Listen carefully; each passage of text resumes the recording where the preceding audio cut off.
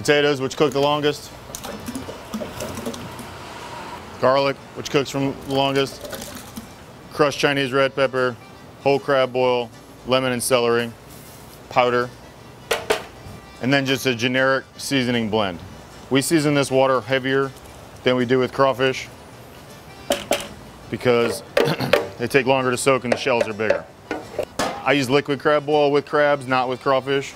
So, you know, three, four ounces. And then a legitimate handful of bay leaves. Again, to give that like kind of floral aromatic smell as opposed to just heat and salt. That's it, you get that started, bring that up to a boil.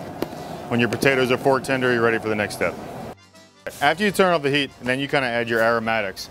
You started with, you know, your spice and your salt to get the potatoes and whatnot cooked. Then you add your things that are gonna make the water taste not just like salt and pepper. So celery, for us, we use celery, lemon, and oranges. The sausage we'll add later after the crabs actually cook. So we add that. Now we're gonna add the crabs and bring it up. Importantly, we're putting them back into warm water, not rolling boiling water. That's for yourself and for the crabs. If you put the crabs into rolling, rolling, boiling water, you'll have a better chance of shooting off the claws. And same thing as crawfish. We're gonna wanna, I'm gonna get all our sausage and mushrooms and corn, light it back up.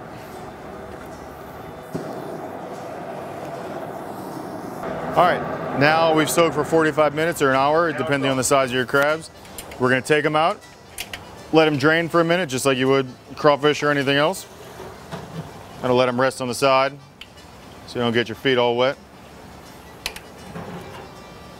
Put them down, grab a beer, we'll throw them on the table. With Justin LeBlanc from Bevi Seafood, come see us.